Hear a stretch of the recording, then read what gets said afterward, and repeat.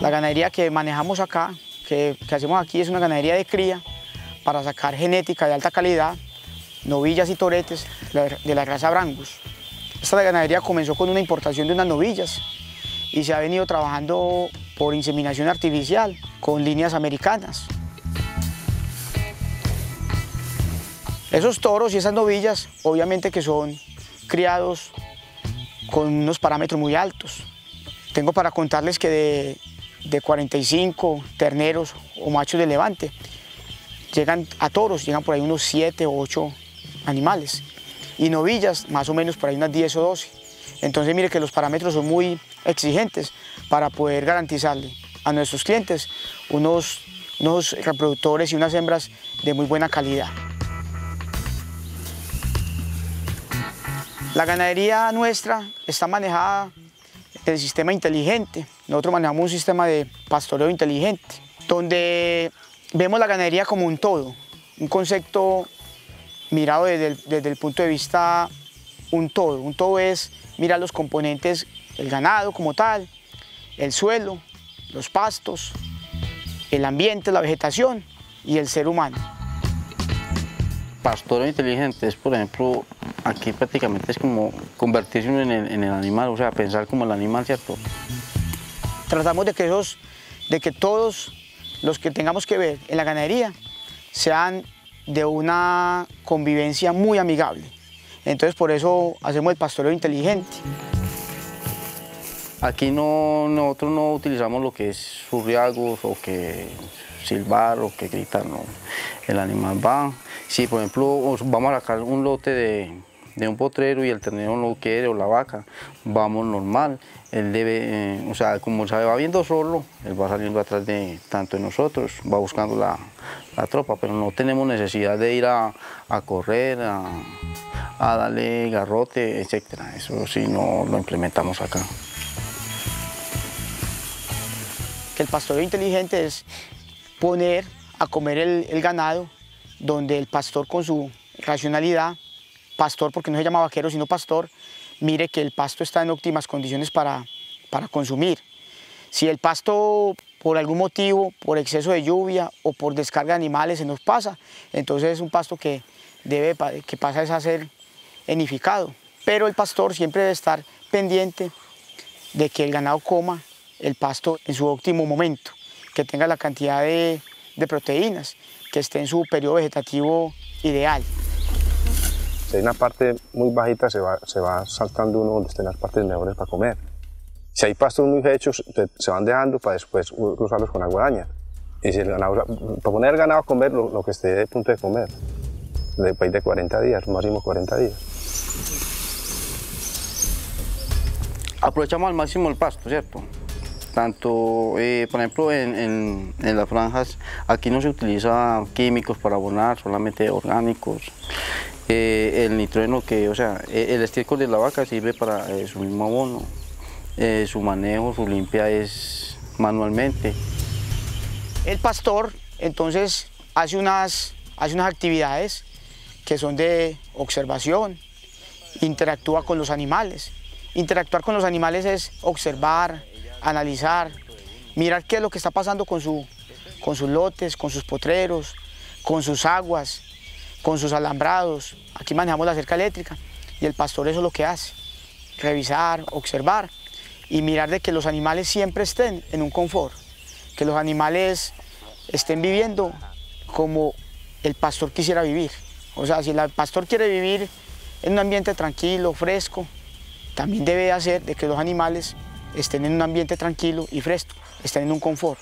Es de la única manera que podemos alcanzar una buena productividad en cuanto a, valga la redundancia, al producto final. La diferencia entre el pastor y el vaquero. O sea, el pastor está prácticamente más relacionado con, con el animal, con el suelo, con con los pastos, no estamos diario a caballo, no está diario gritando un animal, no está pues con un surriago ahí maltratándolo. El hecho no es tener animales o tener ganado, sino saber tener el animal.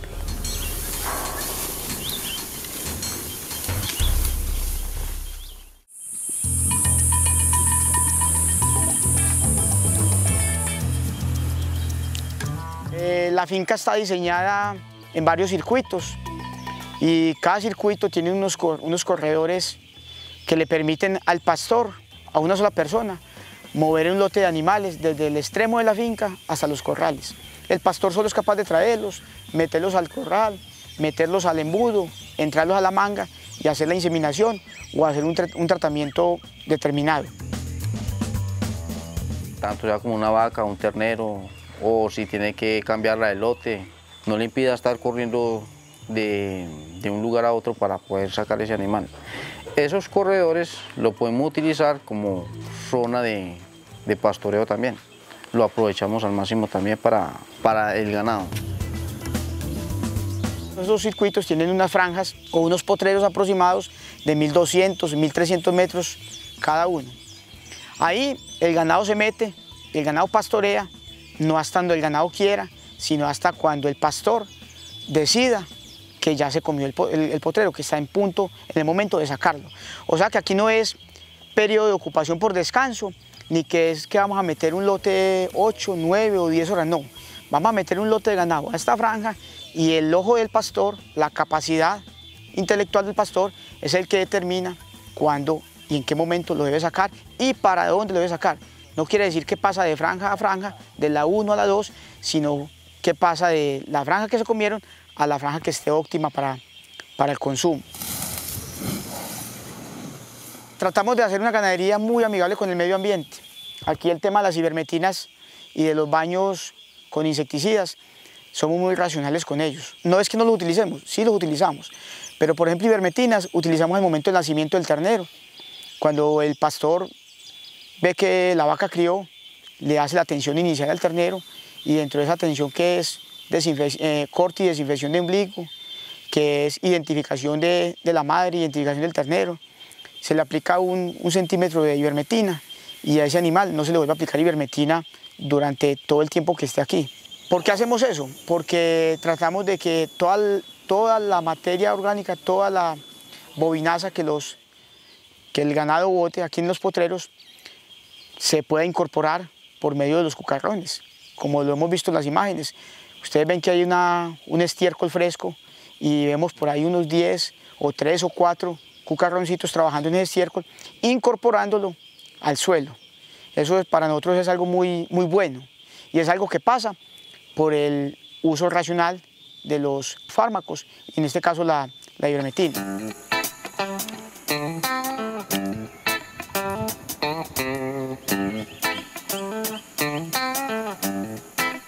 Aquí utilizamos bebederos móviles, donde por ejemplo acá a 36 metros tenemos una, canilla alimentadora de, para cada bebedero. La manguera del bebedero está de 18 a 20 metros para poder correr a cada circuito. También somos muy cuidadosos con las aguas. Nosotros acá en, en la ganadería no permitimos que el ganado entre a las acequias ni a las quebradas. Las acequias siempre están delimitadas y las quebradas también siempre están encerradas. Lo que hacemos es que por medio de un pequeño distrito de riego le llevamos el agua al, ganado por medio de, tubería, luego en manguera y luego en un bebedero portátil. El bebedero portátil tiene una, 18 o 20 metros de manguera, que lo que nos permite es que ese bebedero lo cambiemos de sitios. ¿Para qué cambiarlo de sitio? Para evitar la presión del pastoreo en un solo sitio. En las ganaderías convencionales ustedes ven que los beberos son piscinas o siempre fijos. Entonces el ganado donde bebe siempre se hacen unos pantaneros impresionantes, siempre se deteriora mucho el suelo. Con este sistema lo que hacemos es que le cambiamos la presión del, pastoreo, del, ganado al suelo. Con el pastoreo inteligente también se logra de que la orina y la, el estiércol quede esparcido por toda, por toda la franja, queda bien esparcido. También se logra de que la presión del ganado sobre el suelo no sea muy, muy dura. ¿Por qué? porque el ganado va a permitir, son muchos kilos, pero va, van a ser poquito tiempo lo que están ahí parados en el mismo, en el mismo sitio. Estos suelos de esta región han sido unos suelos más bien pobres, amarillos, y vemos que con las buenas prácticas ganaderas que aquí estamos llevando durante tanto tiempo, se ha visto la transformación del suelo. Vemos el cambio de, la textura, inclusive el cambio del color. Vemos la cantidad de, de microorganismos y de animalitos que hay en ese suelo.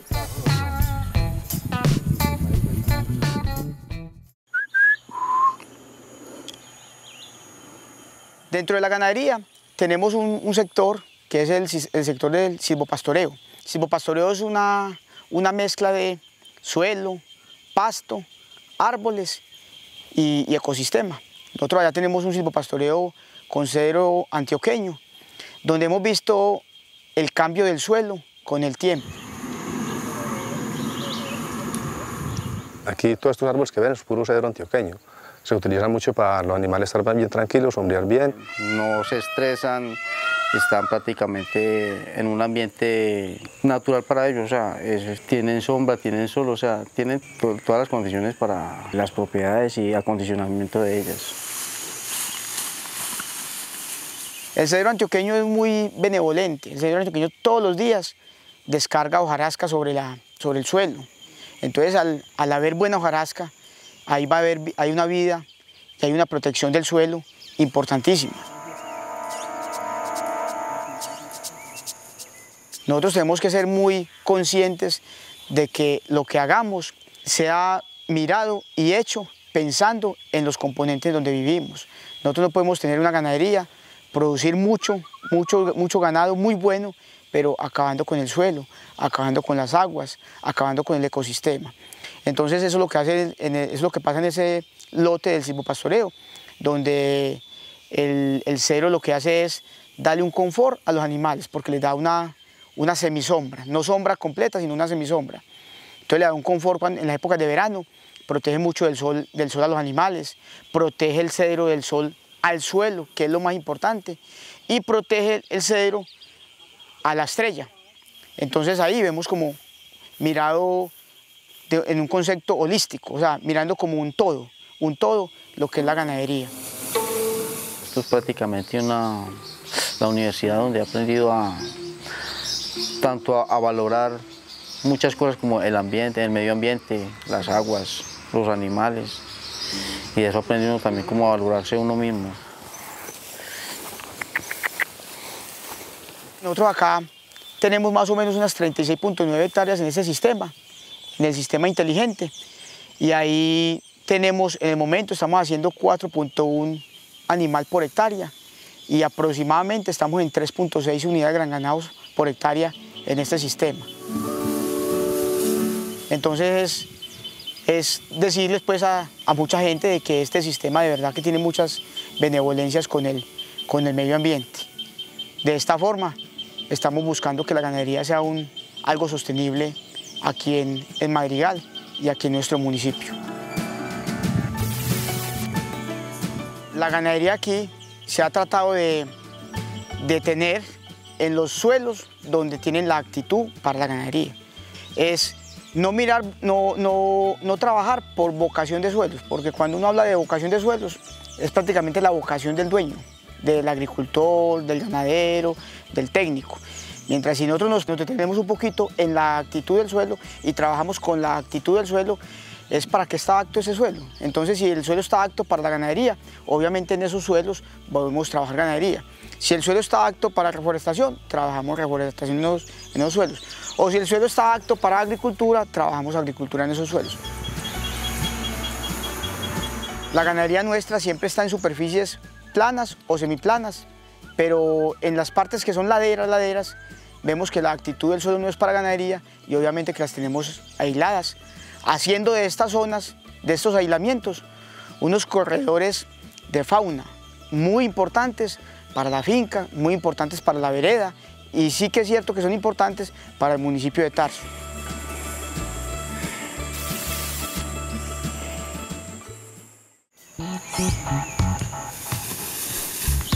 También siendo consecuentes con lo que estamos diciendo, mirando la actitud del suelo, habían unas áreas donde veíamos que el ganado estaba haciendo un trabajo de terraceo y de deterioro porque eran un poquito inclinadas. Entonces, aprovechando que ese suelo fue muy mejorado, óigase esto, fue muy mejorado por la práctica del sistema de pastoreo que está aquí, fue muy mejorado en su condición física, o sea, se le aportó mucho, mucha materia orgánica, se le dio vida a ese suelo, vamos a utilizar la, verdadera actitud del suelo. ¿Cómo? Con el cedro rosado de la India. Aquí tenemos un, lote de 3 hectáreas que sembramos a finales de julio y ustedes pueden ver pues el, crecimiento de ese árbol. Es un árbol que crece muy rápido. Es un árbol del que, en, el que hay mucha expectativa. Aquí en el suroeste, en los municipios de Bolívar, municipios de Venecia, Fredonia y Andes, y acá en Tarso, en la vereda Tacamocho, en la vereda La Linda, en la vereda La Arboleda, se ha, se ha sembrado mucho cedro rosado de la India. Es un árbol del que se habla mucho, pero les, también tengo que ser honesto, no se han visto pues las primeras cosechas o los primeros beneficios a ver a dónde vamos a llegar con ese árbol aquí en, aquí en esta región. Porque un árbol puede ser muy bueno en la India, ¿cierto? Pero vamos a ver cómo se comporta aquí en, en Madrigal, por decir algo, o aquí en Tarso, cómo se comporta. Es un árbol que, del que se habla que a los 30 años da tres cortes, que el primer corte lo da a los 10 años, que el segundo corte lo da a los 20, a los 20 años y que a un tercer corte a los 30 años. Es un árbol que, del que se habla, que se dice en la literatura, que se corta y él vuelve y echa otra, otro árbol. Es una justa que alcanza más o menos entre 15 y 18 metros, que a la altura del pecho se habla de un diámetro entre 80 y, uno, y 110 centímetros. Entonces es un, es un árbol que, si es así, como dice la, literatura, y como hasta el momento vamos viendo el desarrollo de los árboles, pienso que es una alternativa de, de una madera importante. Es un árbol de un color muy bonito, de una terminación muy linda y que se puede utilizar en muchas cosas. Tenemos un cultivo de caucho. En el cultivo de caucho tenemos aproximadamente en productividad unos 900 árboles. El área son 3 hectáreas y algo. Eso es un cultivo que ya lleva varios años aquí en, la finca. Es un cultivo que primero que todo, más que actividad económica, yo quisiera que se mirara como la importancia de ese cultivo de caucho en lo ambiental. Ese cultivo de caucho es un pulmón, es un pulmón para el municipio de Tarso. Es un, un cultivo muy amigable con el medio ambiente, con el tema del oxígeno, del aire y sí que es cierto con el suelo. Aquí también les hago énfasis, también vuelvo y les digo, en la importancia de proteger el suelo, el mulch del suelo. Podemos mirar aquí cómo debajo de, esa hojarasca tan importante que, hace el caucho, hay una cantidad de raicillas impresionante, hay una, prácticamente una malla donde se, se traslapan unas raíces de un árbol con otro. Entonces, las actividades de fertilización y de encalamiento son muy fáciles porque se pueden hacer al boleo como si fueran un potrero porque estamos seguros que por donde caigan los productos hay raicillas. Queremos llegar a, hacer una finca productiva, pero sostenible. Y para hacer una finca sostenible tenemos que tener muy claro que es en el aspecto social, en el aspecto económico y en el aspecto ambiental. Entonces, ¿para qué? Para que los, los muchachos comiencen a cambiar la mentalidad del agricultor, del productor convencional, a un agricultor más amigable con el medio, con el medio ambiente. Eh, ahora ya cuando estamos implementando cosas diferentes, uno ve que en estas personas la mente se abre un poquito, se comienza a abrir lentamente y comienzan a ver el beneficio de las cosas y comienzan a ver un poquito más allá de sembrar y coger un fruto. Porque es que a eso es que tenemos que llegar. Tenemos que llegar a que el ser humano adquiera la conciencia de qué es, lo que, qué es lo que se hace y por qué se hace. Como pastores, eh, para ellos eso fue un, cambio porque en la ganadería tradicional se habla de vaqueros, aquí se habla de pastores y, y se les ha insistido mucho y ellos lentamente han ido entrando en que no es hacer las cosas por hacerlas, sino siempre, siempre con la mente y la capacidad del ser humano como tal puesta en lo que está haciendo. Eso son cosas que se han ido logrando lentamente, pero ahí vamos.